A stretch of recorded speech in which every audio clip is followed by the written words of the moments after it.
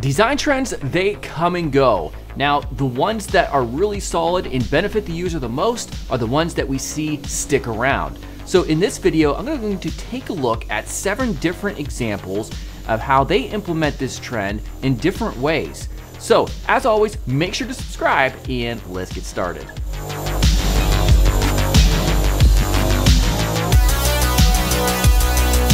Now wait one second, if you're really interested in learning UI design and creating examples like you're about to see, then you should definitely check out my site, designcourse.com. So releasing here in 11 days or January 4th of 2022 is my designcourse.com where I teach UI design and you're going to gain access to nearly 100 modules that include over 15 hours of video, user interface tests which are interactive in a fun way. You can actually play some of them now by clicking this play now button, and also mentorship where you submit design challenges and I actually review and improve your designs that you submit.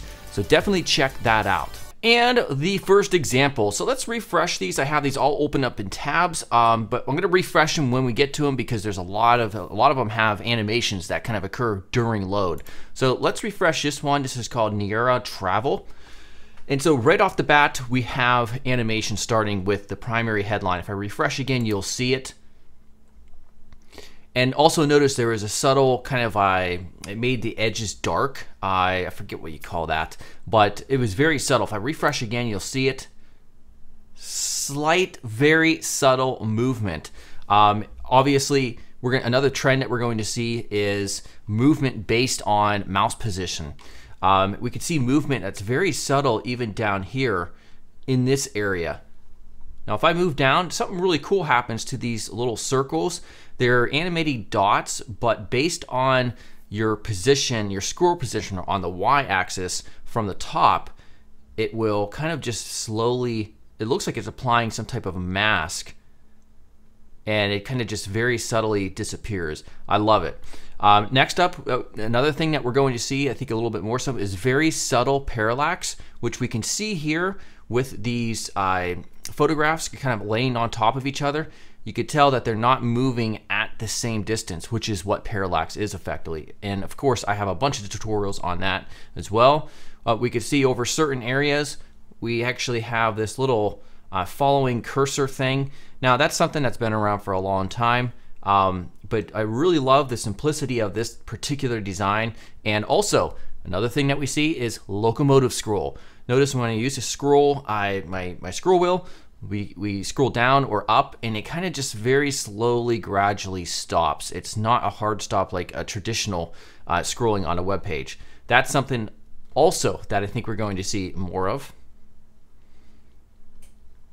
And just a very nice design. Even check out, uh, and here's parallax as well. So this, this design almost has everything that I'm talking about. Parallax based on these, this, these clouds right here are actually not a part of this photograph. And we know this because if we scroll all the way down, you'll see how tall or how high these clouds are, but then it starts to reveal more of the background image. So this is uh, some sort of transparent PNG probably. Very nice type as well. I, I really love the type that's being used here. By the way, pro tip, uh, WhatFont extension, you hover over something and it's going to tell you the font. Wulkan Display, W-U-L-K-A-N. So I love this font. It looks awesome. They very good uh, mixing of typography here as well.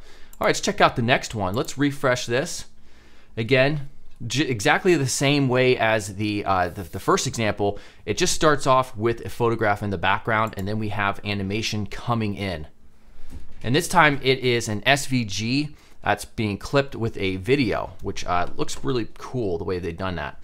Another thing that we're going to see right here, uh, which we see in this example, is SVG based animations. So also based on scroll. So there's a single path here that we're going to see through the entire design as we scroll down that kind of just tells a story, which is really, really cool.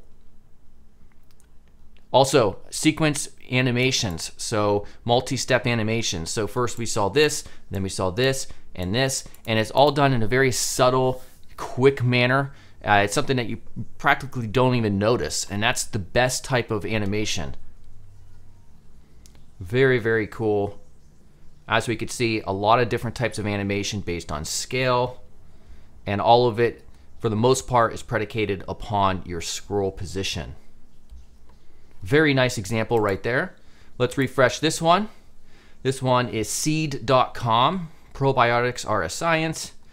All right, so this thing is really cool as well. Again, we're seeing this trend of scroll based animations. And again, I want to say this has been around for quite a while, but I think in 2022 it's going to be something that becomes more of a staple in really cutting edge UI design.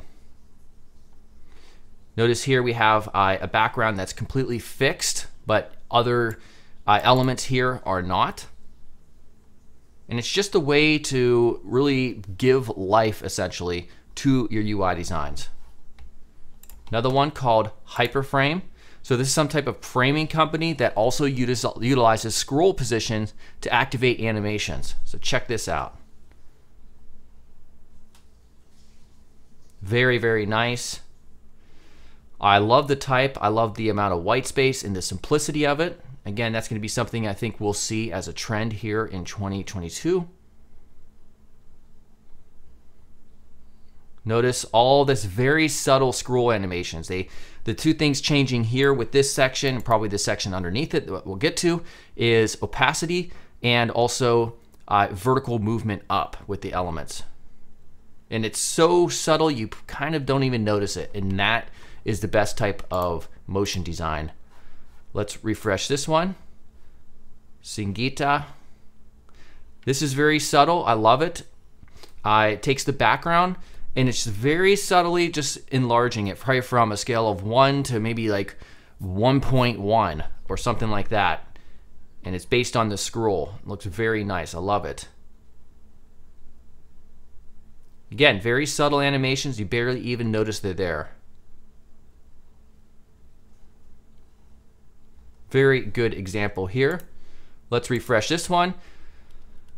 Starts off with a boat reveal. Now, as you can see, there is a lot that's happening here. If I refresh, we'll see this again.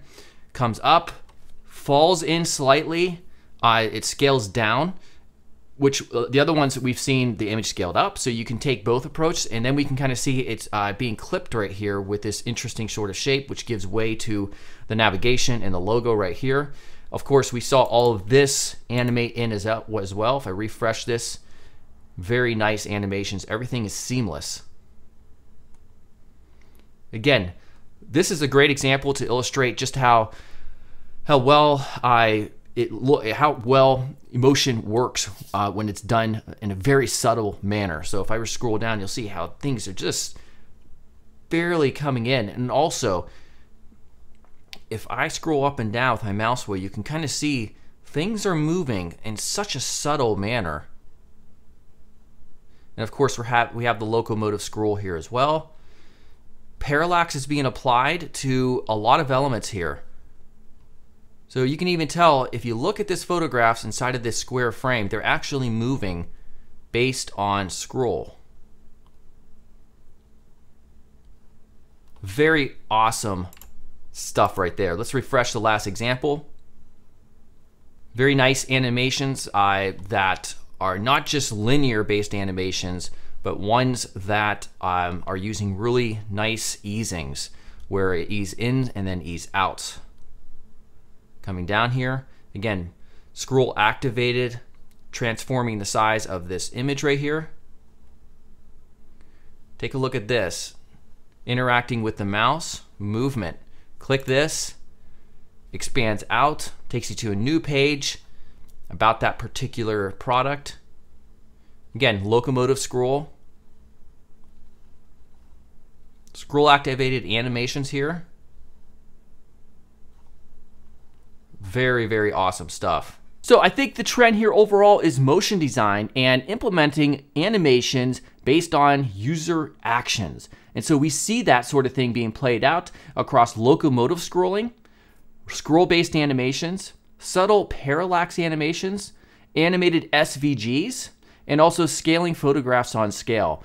So if you're interested in that sort of thing and learning how to implement that both in terms of UI design and the front end development aspect, let me know and perhaps I'll do a video here very shortly on how to work all those things in. All right, so as always, make sure to check out designcourse.com. Make sure to subscribe, and I'll see you all soon. Goodbye.